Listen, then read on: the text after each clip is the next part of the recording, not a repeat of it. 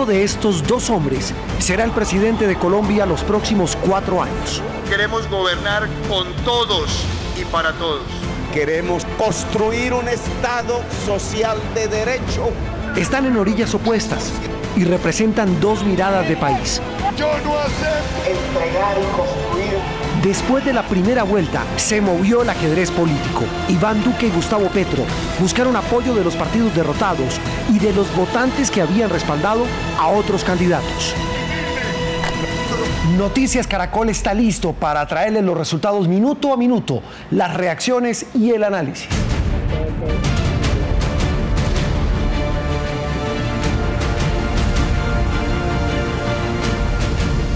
Toda nuestra tecnología al servicio de nuestros televidentes.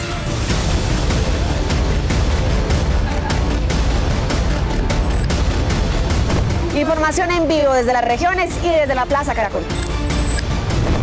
Cobertura especial además con nuestros aliados, Blue Radio, El Espectador y la revista Semana.